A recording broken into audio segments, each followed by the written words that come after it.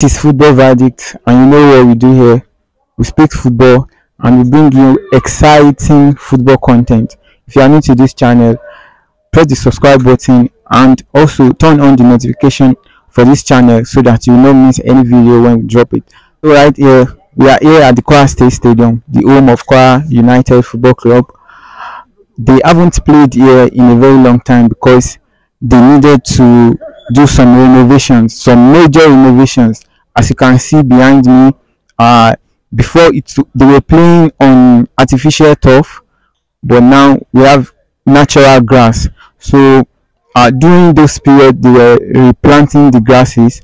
They were not able to play their games on this pitch, which means they will not be playing at their home.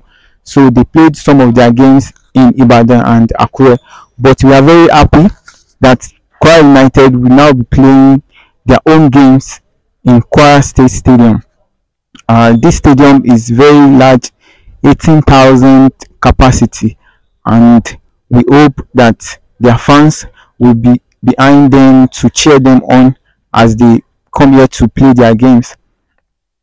Today, uh, we are going to see a match, a friendly match between Kwara United and Sunshine Stars of Akure. It is a friendly friendly match.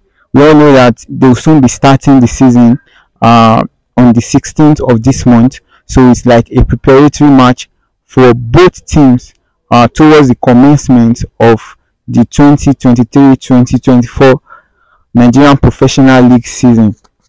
So we hope that Kwara United performs well today, and then especially for Kwara United, uh, they want to test the new pitch. Also, they want to uh, put in place all the necessary security measures just to make sure that the game is safe for the players and for the fans. So, as you can see, they are still working on a few things uh, to get everything in place before the match commences.